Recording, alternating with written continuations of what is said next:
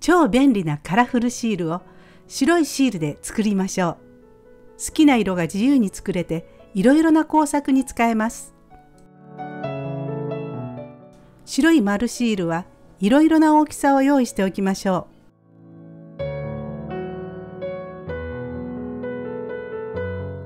まずマーカーで黄色に塗ってみます。水性でも油性でも顔料マーカーでも構いません。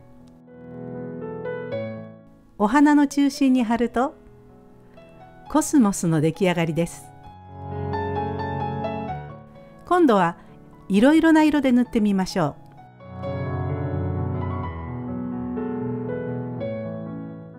思いのままに貼っていくと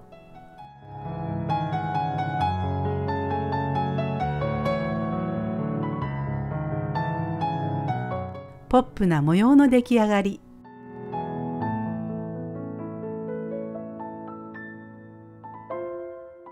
黒く塗った時には特にしっかりと乾かしてください。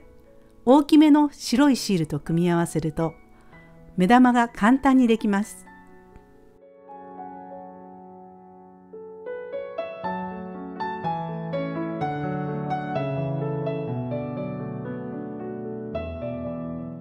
色や大きさを様々に組み合わせて工作に生かしてみてください。